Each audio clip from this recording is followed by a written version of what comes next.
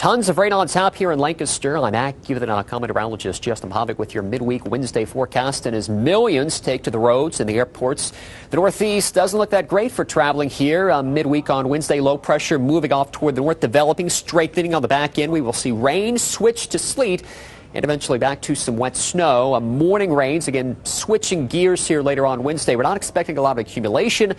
At least on the roads, we're going to be in good shape. Could see some light accumulations on the grassy surfaces. The big concern is a rapid freeze up later on Wednesday night. Our low temperature down to 23. Cold start, chilly Thanksgiving Thursday, only at 33 degrees with the wind even cooler. Extended forecast will slowly warm our temperatures back into the 40s later on this weekend.